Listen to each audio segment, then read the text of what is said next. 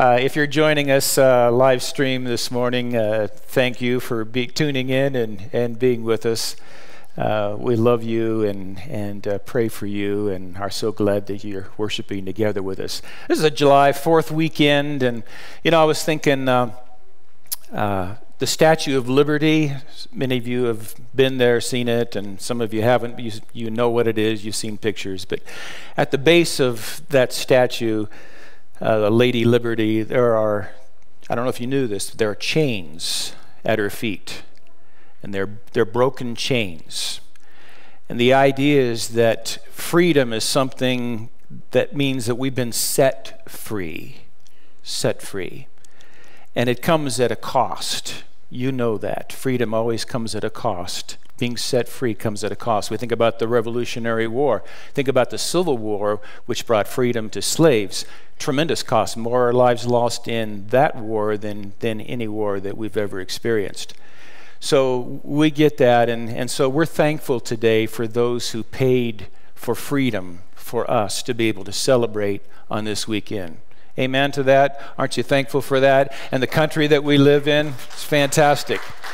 And and I love the songs we were singing this morning uh, because it talks about that freedom that we have in Christ, because that was a cost that was tremendous, that was paid for you and paid for me. Jesus paid it all, and He broke our chains that were holding, held, holding us down and brought freedom into our lives so that we can know Him and experience Him. Well, it's, it's been uh, it's been fantastic being a part of uh, MVF here, and I want to talk this morning for a, a few minutes about um, "I Live." That's, that's kind of the title of our our message this morning. "I Live," and the idea here is that Jesus didn't come to make bad people good people. In fact, what he did come for was to make dead people alive. He came to make dead people alive. You have a purpose, and your life has meaning to it. When you're living for yourself, life is dull and it's meaningless. But for those who've been born into the family of God by the Spirit, who's not a ghost, the Spirit, uh, everything changes in our life. And we don't live that same uh, aimless, purposeless, directionless, meaningless kind of a life that we used to live before Jesus. It's, it's changed. Now, two passages of Scripture will guide us this morning. The first is in Romans 12 1. And uh, I think we have that on the screen. There we go. Therefore, I urge you, brothers, in view of God's mercy, to offer your bodies as living sacrifices, holy and acceptable, holy and pleasing to God. This is your spiritual act of worship. Do not conform any longer to the pattern of this world but be transformed by the renewing of your mind. Then you will be able to test and approve what God's will is, his good, pleasing, and perfect will. Isn't that a great scripture? Here's the other verse that I, I want to have it define our journey today. This one is from Galatians 2:20, and would you read this one with me out loud? I am crucified with Christ, nevertheless I live. Pause just a second. That's the name of the message, by the way. I live, right? Okay, just want you to see that. Okay, let's keep going. Yet not I, but Christ lives in me. And the life which I now live in the flesh, I live by the grace of the faith of the Son of God who loved me and gave himself for me. See, our new purpose for life is to help people see how great our God is. And this would be a, a great way to, for us to pray every day, by the way. I know a lot of times our, our prayers are like, God, give me an easy day. Help everything to go smooth for me today. Help me not to have any problems today, God. Don't let there be anything uncomfortable in my life today. But how about praying, Lord, help me to live my life today in a way that people can see how great you are. That's kind of revolutionary, isn't it? Now, the world is going to see for sure how great God really is. It's either going to happen at the end of time when everyone stands before him and they're going to realize that he is way beyond their wildest dream. I'm not sure how many of us really even get it as to how great God is. We're all pretty happy that Jesus came to earth and he lived among us and he died for us and, and we enjoy a personal relationship with him and he's the friend that sticks closer than a brother. But sometimes we lose sight of the fact that He is God, Almighty God, and that He's terrifying in every way. And I, I, know some of us get a little freaked out about that kind of thing and say, I don't want to hear that. I thought he was nice and loving and gentle and patient and, and stuff like that. He is all of that, but a lot more, much more. He's Abba Father, my friend.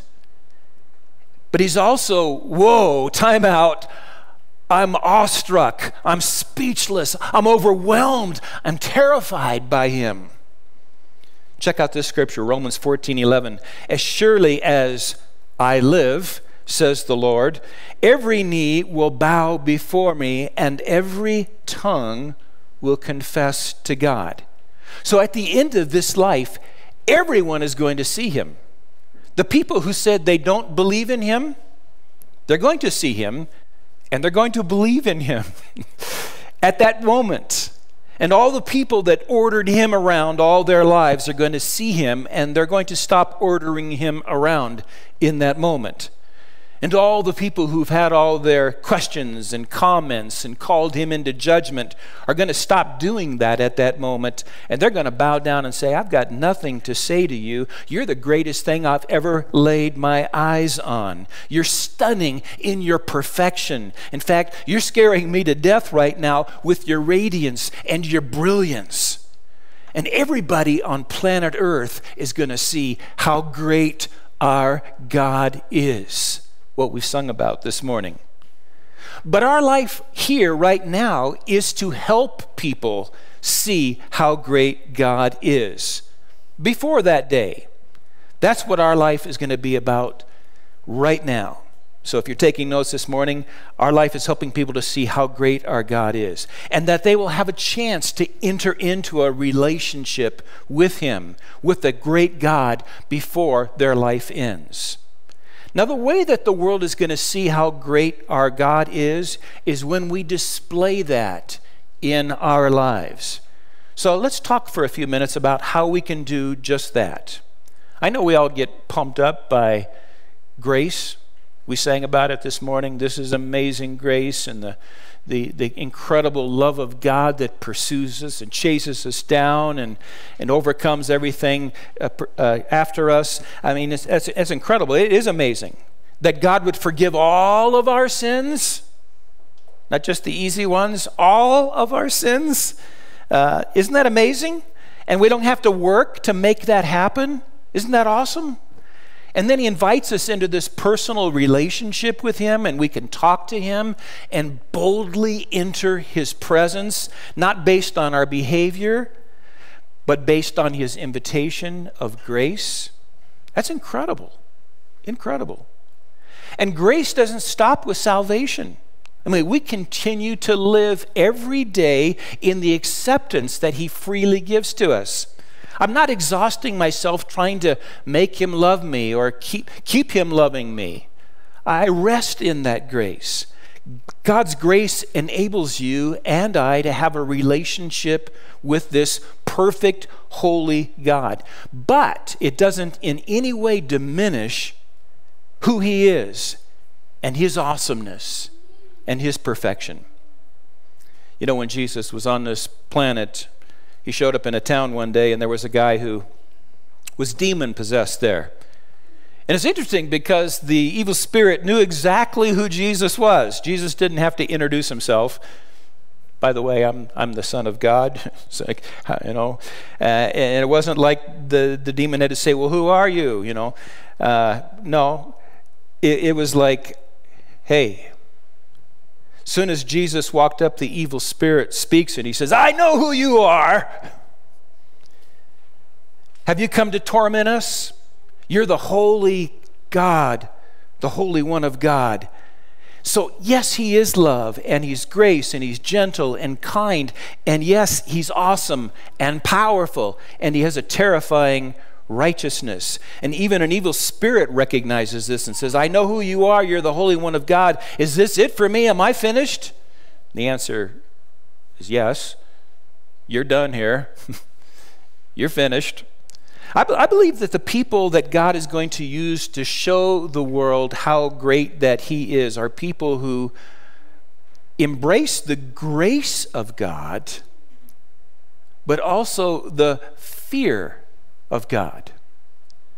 So we're going to have intimacy and awe working at the same time in our lives. That's how we display how great God is intimacy and awe.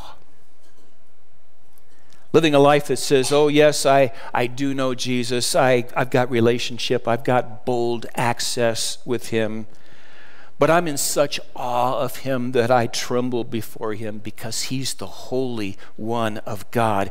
And my life is constantly being refined because of that. Now, we'll never be able to show how great God is. In fact, you know, we'll never even know how great He is if our lives aren't in a process of being refined by His presence inside of us. And if we stop being amazed by His righteousness and overwhelmed by His brightness and perfection of who He is and how great He is, we'll aggressively avoid any of the refining process. We, we won't want anything to do with that. And we'll be doing everything we can to not stick out or be different than anyone else in the world. And, and congratulations are in order for folks that are aiming for that to not stick out because you did it. you achieved it. You know, you wanted to not stand out and you wanted everyone to be amazed at how, at how cool you are, and, and you won. You're no different than anyone else. There's no light in you that shines out in the darkness of the world that you're living in. Our entertainment and our leisure activities and our priorities and, and how we spend our money and what our ambitions and dreams are, they're indistinguishable from anyone else. We did it. But no one is seeing how great God is in that scenario, right? I'm not so sure that most of the stuff that we're listening to is going to be played in heaven. I'm, I'm not so sure that most of the stuff that we're watching is going to be in heaven. I'm not so sure about whether all that we're concerned about making sure that nothing else is going on so that we can watch whatever we want to see, you know, the big game on TV or whatever. And I'm not knocking sports because I love sports and later this afternoon, I'm going to watch sports. I'm, I'm, a big Dodger fan, as a lot of you know, and I watch them all the time. And, but this is me talking to me, okay? Because really now we can get so passionate about some stuff that really doesn't have eternal value. And we want to get passionate about the things that have eternal value. I love the way that John opens up the gospel that he wrote. He said, In the beginning was the Word, the Word was with God, and the Word was God. And then we pick up in verse 14. Check this out. The Word became flesh and made his dwelling among us. We have seen his what? His glory. Okay? Now, so the disciples who had committed to following Jesus and being with him, they'd seen some amazing things. They saw evil spirits cowering before him and released their hold on people's lives. They saw blind eyes open. They saw lame people being made to walk. They saw dead people being raised up. They saw him instantly calm a big storm while they were in the middle of the lake. And on another occasion, they saw him walk on water in the, in the middle of a storm. And you know what their response was? They were afraid. They trembled. It's like, whoa, whoa, whoa. This is, this is intense. John was with Peter and James on the Mount of Transfiguration when Jesus' face lit up like the sun and his clothes became this dazzling white. And Moses and Elijah were with him, and a voice from heaven said, This is my son, listen to him. And you know what their response was? They were terrified. They were all there when the woman who'd been very ill for 12 years secretly and very discreetly reached out to touch just the hem of the robe that Jesus was wearing, and, and she was instantly healed. And Jesus knows that something has happened in the moment. He stops and he asks, Who touched me? And everyone's saying, What an insane question. We're all jammed in here like sardines. It's like shopping on Black Friday. I mean, everyone is touching all of us. But then he, he locks on to her, and she got she had got just a little part of the hem of his robe, and, and he knew it. That's how awesome that he is. She's completely healed, and she kneels down before him, and she's terrified. Terrified. You might be thinking, well, that's not the right response. Shouldn't you just be happy and excited and joyful? And, and uh, no, she's freaked out because she realized that divine power had just entered her body. She looks up at him in fear and trembling, knowing that he was the healer of her. That's the awe that I'm talking about. So, back to John 1:14. The word became flesh, made his dwelling among us. We have seen his glory, the glory of the one and only who came from the Father, full of grace and truth. There we go. Grace and truth grace that helps us understand that it's not our efforts that bring us about brings about the work of God in our lives. The works don't save us. The works don't change us. Rules don't impact our lives. They don't change us. They don't save us. It's grace. It's not legalism, it's grace. And then we live with the balance of grace and truth because he came full of both grace and truth. I, I know well intentioned people have tried to make sure that they didn't compromise the truth, so they retreated and they hid themselves away in a, in a little place. And we're just, you know, we're going to make sure that we don't dress cool and we wear our hair funny and we don't participate in anything that's going on in culture because we just want to be different and we're not going to be able to relate to anybody on the outside, and no one the, on the outside is ever going to be able to relate to us because we won't even be able to talk to each other. And all I can talk about is a verse of Scripture. I don't know anything about anything else. I don't hear anything that's going on around me. I don't watch anything. I don't know anything that's going on on TV or movies or music. I've never heard of Top Gun Maverick or, Mi- or Minions 2. I don't know anything about the whip Nae Nae or the stanky leg or the floss or TikTok. I don't know anything about us stuff. I don't go out. I don't get out. I don't look out. And that might be very well intentioned. But it seems to be different than the way that Jesus was. He spent a lot of time with messed up people, sinners, because that was his mission. His mission. That's who he came for. So we have to embrace grace and we have to embrace truth in every area of our life. And when we do that, it changes us into his likeness, and people will see that. They will see how great our God is. I want you to see how both of these work together as we read 1 Peter chapter 1, verse 13. Peter writes this Therefore, prepare your minds for action, be self controlled, set your hope fully on the grace to be given you when Jesus Christ is revealed. As obedient children, do not conform to the evil desires you had when you lived in ignorance, but just as He who called you is holy, so be holy in all you do. See both of those things at work in that passage? Talks about the grace, but he talks about the truth of holiness. When we see him, see, it's going to be absolutely mind blowing. Remember John, the one that calls himself the disciple whom Jesus loved? Okay? He's one of the inner circle. He was, he was tight with Jesus. He was an insider. And, and some years after the resurrection, he's in the Spirit on the Lord's Day, that's Sunday, and he's transported into heaven, and he hears a voice like a trumpet speaking to him. And check this is out. This is uh, Revelation 1:11. This voice speaks to him and says, "Write on a scroll what you see, and send it to seven churches, to Ephesus and Smyrna." And he says, I turned around to see the voice that was speaking to me, and when I turned, I saw seven golden lampstands, and among the lampstands was someone like a son of man dressed in a robe reaching down to his feet, and with a golden sash around his chest. His head and hair were white like wool, as white as snow, and his eyes were like blazing fire. Well, that, that'll, that'll overwhelm you. you see that? I mean, in the bedroom, in your living room, and nobody had been closer to Jesus than John on this planet, okay? He was close. But he hears this voice telling him to write, and he turns to see who's talking to him, and his, his mouth pretty much drops to the floor. And he goes on, he says, His feet were like bronze glowing in a furnace, and his voice was like the sound of rushing waters. In his right hand he held seven stars, and out of his mouth came a sharp double edged sword, and his face was like the sun, shining in all of its brilliance. And when I saw him, I said, Hey, dude, what's happening? no.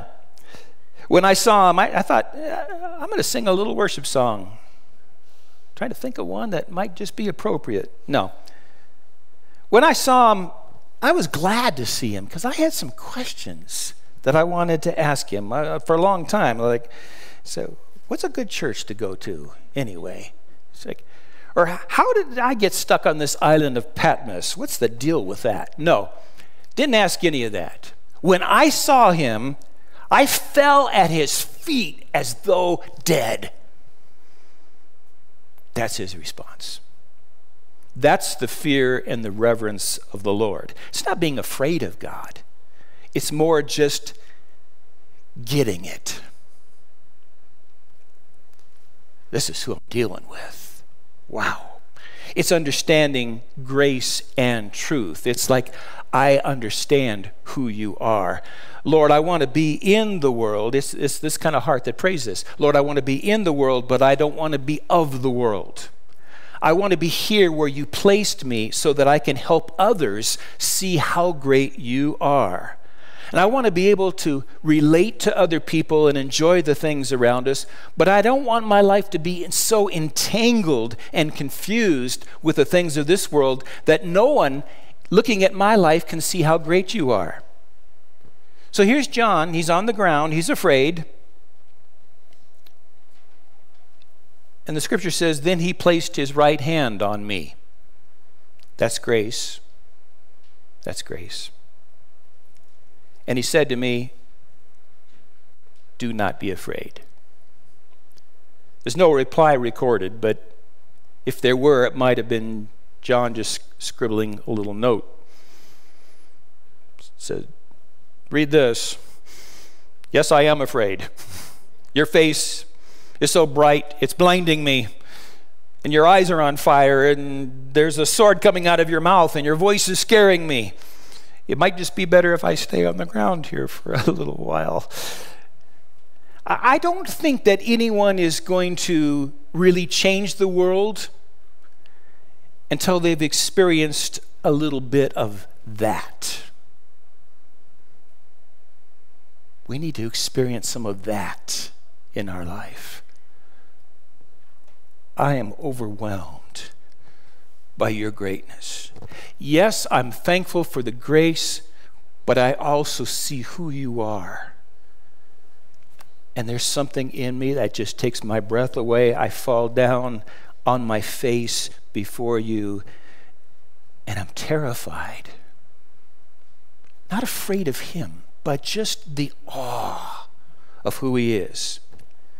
And I think every one of us ought to have some kind of experience like that before Him at least one time in our lives. Blown away on the ground with your face down, absolutely overwhelmed by the revelation of who He is. And Jesus said to John here, I am the first and the last. I'm the living one. I was dead, and behold, I'm alive forever and ever, and I hold the keys of death and Hades. Write therefore what you have seen, what is now, and what will take place later. Why? Why does Jesus say that to him? So the people will know who I am and how great I am and what's ahead. And in case you've forgotten or you didn't know, you and I have an appointment to stand before God and to be accountable for our life. And if you've made your life all about you and your comfort and your leisure and your possessions and your hobbies and your priorities and your ideas, your politics your values, all the stuff you've contended for, all the stuff you accumulated, you'll be standing before Him and have nothing. Everything will evaporate. Everything you've held dear, everything you've worked for, just evaporate before your eyes because that doesn't have eternal value. Let's wrap up this morning back in 1 Peter 1, verse 14. As obedient children, do not conform to the evil desires you had when you lived in ignorance. But just as he who called you is holy, so be holy in all you do. For it is written, Be holy, because I am holy. And since you call on a Father who judges each man's work impartially, live your lives as strangers here in reverent fear. For you know that it was not with perishable things such as silver or gold that you were redeemed from the empty way of life handed down to you from your forefathers, but with the precious blood of Christ, a lamb without blemish or defect. He was chosen before the creation of the world, but was revealed in these last times for your sake. Through him you believe in God, who raised him from the dead and glorified him, and so your faith and hope are in God. In chapter 2, verse 9, he says this But you are a chosen people, a royal priesthood, a holy nation, a people belonging to God. That you may declare the praises of him who called you out of darkness into his wonderful light. Once you were not a people, but now you are the people of God. Once you had not received mercy, but now you have received mercy. Dear friends, I urge you as aliens and strangers in the world to abstain from sinful desires which war against your soul. Live such good lives among the pagans that though they accuse you of doing wrong, they may see your good deeds and glorify God on the day he visits us. Here's what God is saying here Show the world me by the way you live. Show the world me. So that's our prayer. That people will see how great our God is by our lives. And let's pray this together this morning. Worship team's coming back up to finish up our service, but let's just pray for a moment. Lord, may we just take some inventory today of our thoughts, what we entertain ourselves with, how we talk, what we talk about, what we give our lives to, how we live, how we serve, how we leverage what you've given us so that people through us will see how great you are. May we live our lives that way. For it's in Jesus' name we pray. Amen.